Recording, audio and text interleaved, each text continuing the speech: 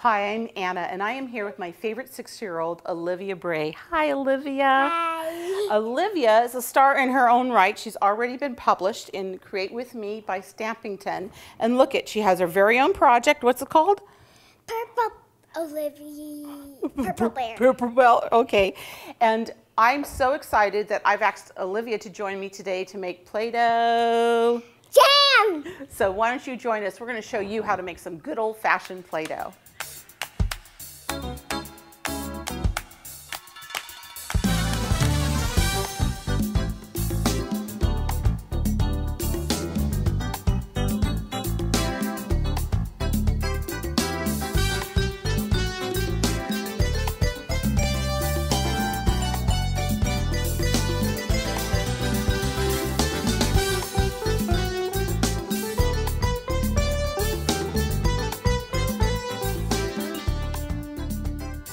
Okay, we're in the kitchen and we're ready to go. We're gonna make this great Play-Doh. We've already put one cup of flour in. The recipe will be on our website.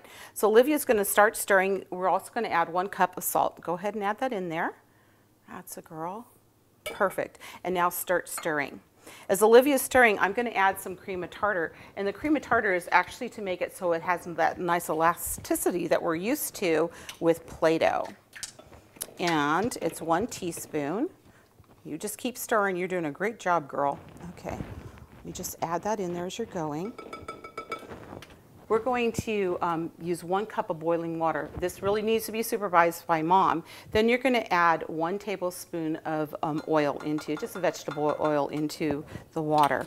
I'm going to stir this up a little bit and then Olivia is going to dump in some Kool-Aid. It's the unsweetened kind, and this is going to give the Play-Doh a little scent and also a beautiful color. So go ahead and dump that in there for me, Olivia.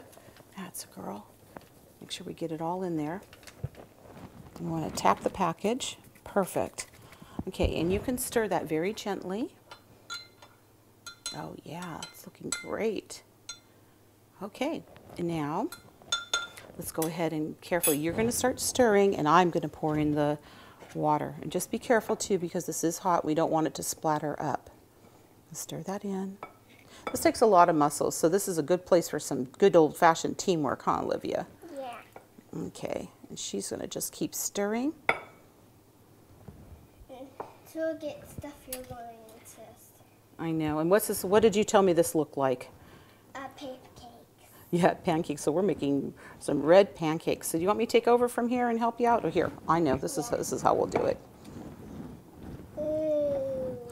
oh, I know. Isn't that so fun? Okay, now we're getting ready to finish up our Play-Doh. And you can see Olivia here is kneading the Play-Doh. She's doing an excellent job using the uh, heels of her, her hands and mixing the color in. You're doing great. And what we're going to do, because we're just having a little fun and we called it Play-Doh jam earlier, we're actually going to can it in freezer jamming jam jars like this.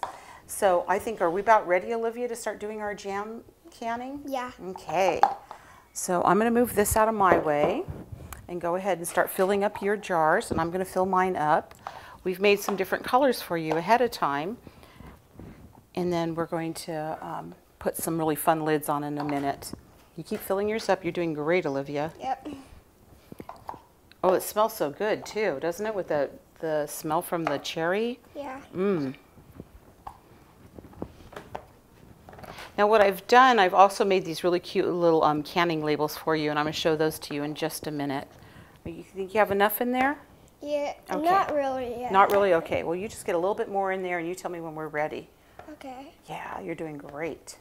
Okay, now we're going to have really a lot of fun, huh, Olivia? Because we've I've named some really fun name of this jam for you, huh? And what I have actually done, I've already you'll get the little PDF off of our website with all these cute little images that match the name of the jams and their labels, and just cut them out, add a little glue stick, and attach them to the, the tops of the lids. And then, like I said, we have little labels, and the one Olivia's going to do is the Red Robin Cherry Jam Play-Doh from the Kitchen of. Olivia, and she's going to go ahead and write that.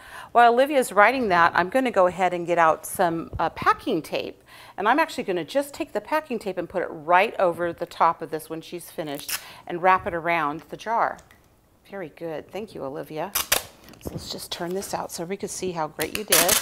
We're going to put your finger there so that doesn't take off on me. That's a girl. We're just going to put it right across like that. I'm going to cut it out and wrap it around the jar. Now we're going to start start canning our um, our Play-Doh jam. All right, Olivia. So we've already got our label on, right? And you've signed from the kitchen of. And we're going to demonstrate. I just cut different colors of fabric out to match the colors of our jam. And we're going to put this on top, five inch square pinking shear around the edge.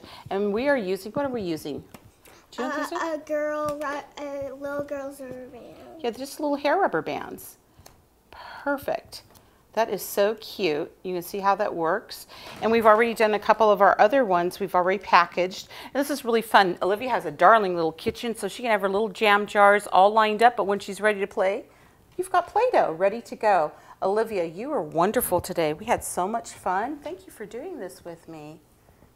When creativity knocks, open up the door. Thanks, Olivia.